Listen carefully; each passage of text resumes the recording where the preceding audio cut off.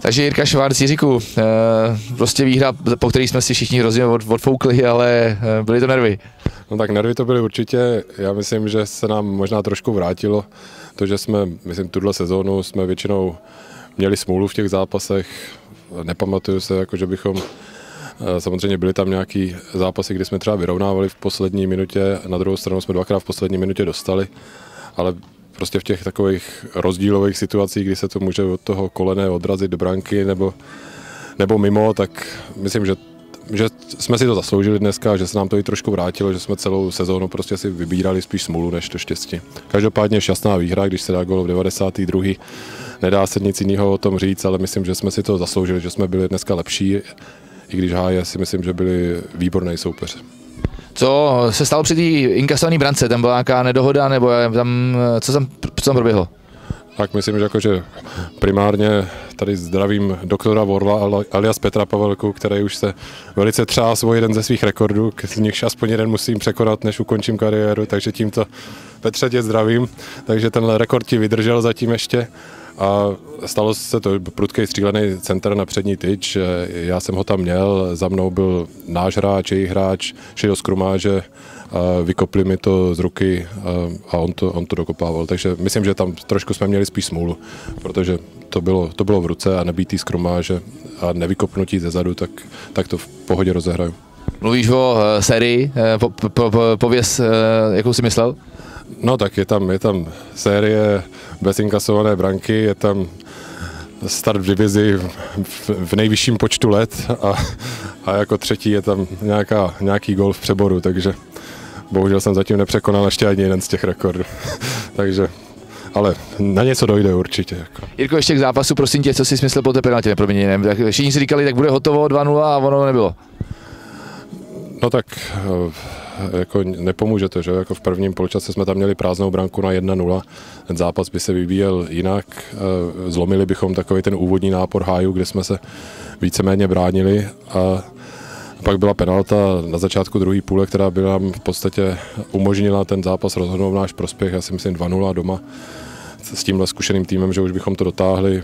Bylo to nepříjemné, jako samozřejmě bylo tam vidět, že prostě na některých hráče padla psychická deka, nevěřili si. Myslím, že tam se ten zápas lámal, protože těch mezi tou 50. a 75. minutou jsme nehráli dobře a spíš jsme si koledovali o to, aby háje druhým golem rozhodli. Měli tam několik breaků a situací, z nichž to mohli udělat. Poslední 10 minut patřilo nám. Chtěli jsme vyhrát, bylo to vidět a myslím, že jsme si to zasloužili. Eh, ty jsi tady statistik, to znamená, jak eh, hodně nás tahle výda přiblížila k záchraně? Tak, já to mám spočítaný už další dobu, že 42 bodů bude stačit, spočítal jsem to v březnu a zatím si stojím, takže ještě jedna výhra a jedna remíze. Jirko, děkujem. Díky. Tak Martine, prosím tě, eh, střelec rozhodující branky dneska úplně už v nastavení těsně před koncem. Jak to tam dostal, nedostal, my jsme to ani pořádně neviděli. Tak tam byl ze strany centr, tam vlastně Rado to nějak prodloužil hlavou, já jsem byl před prázdnou bránou a trefilo mě to do kolena podvíko to šlo. Jenom jsem se bál, že to přestřelím, ale padlo to tam, no. Tak jsme to trochu oslavili a ty jsi střelil takový gol, asi pamatuju v divizi tady s Českým dubem, to si ani nevěděl, jak tehdy zraněný si byl, chtěl si střídat a taky to v 90. minutě gol, tady na tuhle branku, pokud se dobře pamatuju. No, tak to bylo hodně podobné, protože jsem byl zraněný, teď zase jsem nějaký problémy se svalem, takže jsem ne- nevěděl ani do poslední chvíle, jestli budu hrát. A s tím českým dubem vlastně to šlo odsaď ten balon a to bylo proti sluníčku, tohle bylo trochu něco jiného, no, ale jako taky jako obrovská radost a uh, ten, to, že jsme to takhle dokázali v tom závěru zlomit, tak to může trochu pomoct. Ty tři body se nám určitě hodí v nějakém tom záchranářském souboji a doufám, jako, že už to nějak zachráníme. No. I ty emoce musí být úžasný, když si autorem takové branky, která prostě úplně už v poslední vteřině rozhodne. E, souhlasíš? No tak je to krásný, no, ale to už jsem trochu imunní, jako no, ale beru to profesionálně. Každopádně ten zápas, eh, krátký hodnocení ve dvou, třech větách, eh, nebyl jednoduchý. No, nebyl jednoduchý, hlavně jsme nepotvrdili výkony z těch předešlých utkání, kde jsme vlastně dominovali na hřiště, dneska to bylo takový nahoru dolů, hádali jsme se, bylo to takový, z naší strany to nebylo dobrý, ale zaplať pámu, že jsme to tam nějak dotlačili a eh, vyhráli jsme, no. Takže děkujeme a vy si oslavit výhru, prosím tě. Jo, děkuju, mějte se. Takže střelec naší první branky. E, někdo říkal, že se to ani Honzo ani nedotkl. Dotkl? Je to víš, že jo. Trefil mě to někam do hlavy a do ramene a do brány. Takže krásný gol. No jasně, zapíšu si ho někam do deníčku tady ten zase.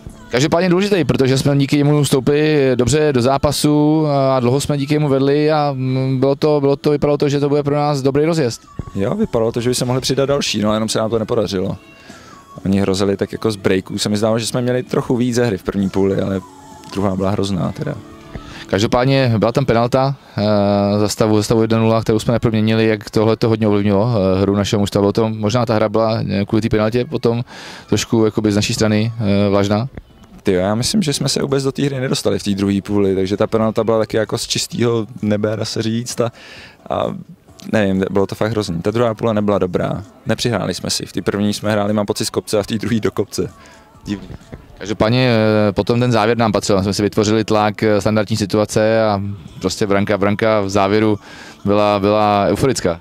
No to každopádně, to jsme si užili, jako tohle to muselo být, ale my jsme tu hru hodně zjednodušili těch posledních 10 minut a že se nám nedařilo procházet z hřiště, tak jsme to pak kopali, kopali, kopali, naštěstí oni faulovali a ať se rozčilovali jakkoliv, tak prostě fauly to byly a tím nás dostali vlastně do toho tlaku oni, mám pocit. Věřil jsi, že ta branka přijde ještě? Tyjo, na, na, to, že jsme tam měli těch šancí fakt každý dvě minuty jednu, tak jsem doufal, že to bude, no, ale teda poslední rok, poslední šance, to je super pocit potom. Hmm. Tak Honzo, gratulujeme, doufejme, že takhle to už v té tabulce nám pomůže i eh, k tomu, aby jsme vystoupali vzhůru a měli klid konečně a těšíme se na další zápasy. No to by bylo super, kdyby to takhle šlo dál ještě kousek. Ještě aspoň dva zápasy.